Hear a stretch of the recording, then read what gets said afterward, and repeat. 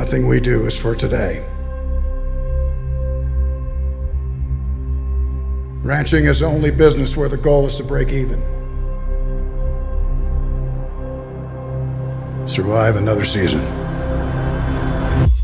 E benvenuti amici cinefili qui a Fotogrammi per una nuova puntata di Fotogrammi Short, il format che con delle video recensioni vuole consigliarvi la visione di piccoli capolavori, di piccole perle cinematografiche e quindi stuzzicare la vostra voglia, il vostro interesse, la vostra curiosità di cinema.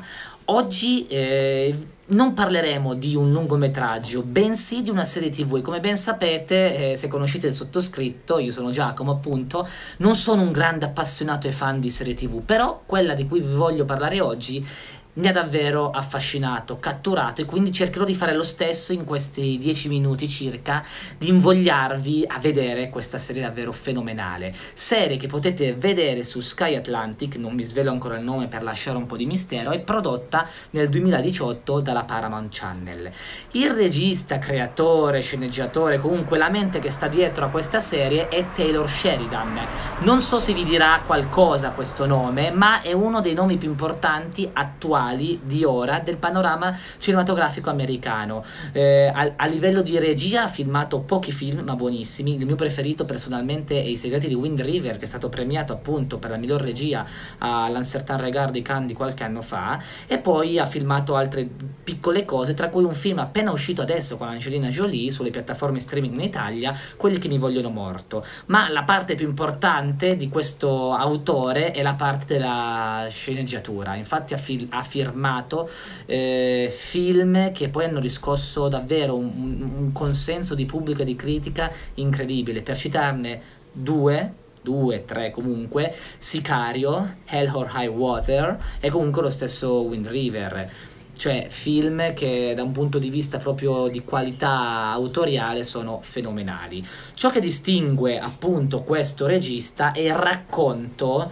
di un cinema, di, di un cinema e di conseguenza quindi di un'umanità di frontiera e questa vita, questa umanità di frontiera la si vive, la si respira in prima persona in questa serie tv appunto che è iniziata nel 2018, Yellowstone.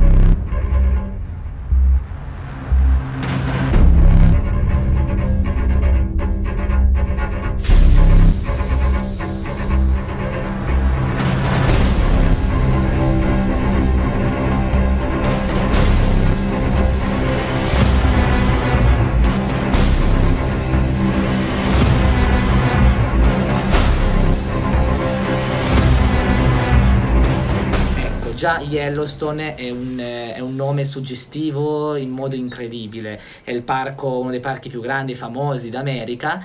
E, e qual è la, la, storia in breve? Eh, io non, adesso non vi racconto nello specifico la storia di ogni stagione, per l'appunto siamo arrivati ad oggi a tre stagioni, ma sono già state annunciate dalla Paramount Channel altre due stagioni, una quarta e una quinta. Infatti, per come finisce soprattutto la terza, è presumibile per forza che ci sia una quarta stagione. La serie è molto semplice, la storia è molto semplice, quasi di una semplicità banale, ovvero abbiamo la famiglia da Dutton con eh, il, il, patriarca John Dutton interpretato da un magnifico Kevin Costner che ha, diciamo, è l'incarnazione del nuovo western americano dal punto di vista cinematografico. Basti pensare al suo grande capolavoro Balla coi lupi e poi ad altri film come Terra dei confine ecco questo patriarca della famiglia Dutton che da più di cent'anni quando i primi coloni americani sottrassero a, agli indiani le terre qui ci troviamo in Montana eh, è il proprietario della più, del più grande ranch d'America, eh, del più grande ranch d'America. Chiaramente, eh, che succede quando si, eh, si, è proprietari di terre così grandi? Ci si scontra quotidianamente con 3.000 nemici, non si può mai essere, diciamo, rilassati. Ed è quello proprio che incarna il personaggio eh, di Kevin Costner, appunto John Dutton, che nella sua mh, voglia, eh, forza, determinazione a continuare a proteggere gli interessi, ma soprattutto le l'esistenza del suo ranch pur a discapito delle, delle, delle, delle, sue finanze dei rapporti con i suoi figli, si troverà in ogni stagione a dover combattere contro dei, dei nemici, quindi dal, dall'impresario edilizio, dal, dal, da un trust che vuole costruire un aeroporto e poi a nemici quotidiani dalla polizia, ad altri investitori, fino al capo della riserva indiana di Broken Rock, che è proprio lì, eh, lì tenta continuamente, grazie poi anche alla costruzione di casinò e di leggi speciali che nelle riserve non eh, sono fuori dal controllo diciamo, del, del, degli Stati Uniti d'America, può permettersi di, di, di un, un, un, grande l, l, raggio d'azione. Con questa premessa qua, quindi un ranch il Montana si va, si torna nel western, un western moderno. Infatti le figure dei cowboy oramai sono quasi da collocare con i vecchi film, i grandi capolavori, un'altra epoca. Qui invece ci sono degli stati, e infatti anche qui vengono citati, ma se si segue anche un po' la storia di Sheridan, come il Texas, il Montana, ma anche altre, in cui la figura del cowboy, dei rodei, de, dei mandriani è ancora forte, ancora quasi un'ideologia virile, chiaramente maschilista, con questi uomini che sono in grado di far di tutto, in un contesto di questo ranch e di questa, come si può dire, di questa logica un po' in stile, possiamo dire eh, molto gangster. Infatti, quello che poi animerà eh, di stagione in stagione le vicende della famiglia Dutton sono delle vere e proprie trame da, da soprano, da, da, serie tv come il soprano. E la bellezza perché di serie tv su mafia, su malorganizzazione, su potere, giochi di potere per conquistare terre e così via, eh, ce ne sono tantissimi di serie, però dal punto di vista politico, poliziesco e mafioso. Questa è la prima storia, la prima serie che, che, prende questi temi abbastanza universali, abbastanza trattati in 3000 film, in 3000 serie e te le declina in chiave western. My family and I find ourselves in an interesting situation. Can I help you? Looking for John Dutton. Oh, yeah, who's looking for John Dutton? The walls are closing in on all sides. We're fighting to survive. Your father's ranch isn't a kingdom, he isn't a king. Your family deserves to lose everything. Chiaramente allora, il punto di riferimento è Kevin Costner, che col suo personaggio è davvero emblematico, enigmatico, perché è un personaggio che non si riesce ad amare, eh, però ha poi dietro tanti, come so dire, è una cipolla, ha tanti strati, tanti livelli di lettura, e quindi nello scoprire, nell'andare avanti nelle stagioni si scoprono tante cose di questo personaggio e qui che sta soprattutto il merito di Sheridan e la sua grande abilità nella scrittura, proprio nella costruzione di personaggi credibili eh, che affascinano. Infatti attorno a John Dutton c'è la sua famiglia numerosa, una famiglia eh, rotta, una famiglia disunita, una famiglia conflittuale per un motivo o per l'altro che per difendere l'interesse del padre o comunque l'interesse di questo ranch in un modo e nell'altro si riuniscono e quindi tra poi tutte le divisioni, le arrabbiature, le antipatie, tra di loro poi ci sarà un, un modo per portare avanti e combattere i nemici comuni. Giusto per rendere giustizia ad un cast che è davvero fenomenale, gran merito e anche loro se questa serie è davvero così affascinante, vi cito un po' i personaggi. Allora, John Dutton vi ho detto è Kevin Costner, poi abbiamo Casey Dutton, che è il personaggio che è più in, in, diciamo, in conflitto col padre, col patriarca, in quanto lui comunque ha deciso di abbandonare il ranch, di sposarsi un'indiana, Monica, averci un figlio, però poi ha un passato violento che non farà davvero, non avrà nessuna difficoltà a riemergere in modo predominante e prepotente nel corso delle varie stagioni di Yellowstone. Poi abbiamo uh, Jamie Dutton, interpretato da un bravo Wes Bentley. Eh, Jamie è diciamo il figlio che usato di più come strumento dal padre, è l'avvocato che in ogni situazione difende gli interessi della famiglia Dutton.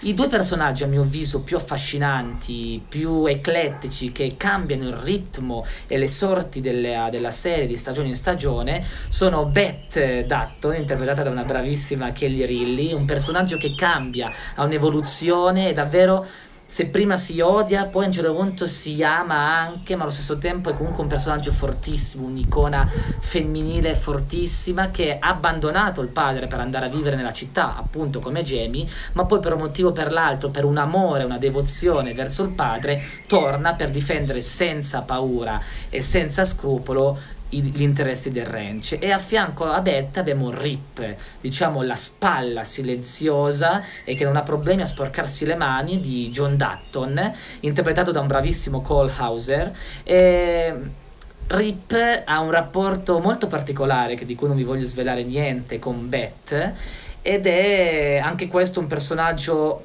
diciamo, tutti i personaggi hanno una parte oscura, una parte negativa, ma poi ci sono, non dico delle qualità, ma degli aspetti che poi escono fuori proprio durante le stagioni di questa serie, quindi ti fanno affezionare o meno alla, alla, loro, alla loro figura, alla loro storia. Ecco, il punto centrale su cui secondo me è fondamentalmente un grande, adesso non voglio dire capolavoro, ma un gran successo questa serie è proprio la caratterizzazione dei personaggi, la scrittura, la costruzione, perché man mano che si va avanti questi personaggi non diventano ridondanti, non cadono nel banale, si rinnovano sempre, non è che si rinnovano e cambiano, si scopre sempre qualcosa di nuovo e un caso emblematico è quello che accade nella terza stagione appunto riguardo Jamie Dutton. E qui abbiamo chiuso il punto numero uno. Gli altri punti di, di, assicura, di, di, sicura bellezza di questa serie sono la regia, la regia che si sposa con una, una fotografia davvero immensa, le riprese, il, il, diciamo, il direttore di camera è lo stesso di Wind River, quindi un'altra storia ambientata nelle terre dei confini, quindi questa possiamo dire, non dire che è uno spin-off di Wind River, però l'ambientazione di Yellowstone l'abbiamo già vista in Wind River, quindi terre di confine, terre di desolazione, terre abbandonate in cui non c'è proprio una vera, una, una vera legge. E quindi i, i panorami, gli scatti, le, le visioni di questi, di questi, parchi meravigliosi, di questa natura incredibile, ma poi anche di scene d'azione con una regia, un ritmo ritmato, anche una violenza che non viene nascosta, quindi proprio quel western sporco rende un mix, proprio un mix di avventura, di adrenalina e di bellezza anche per gli che dà un grande valore, un grande plus a, a questa serie di Sheridan.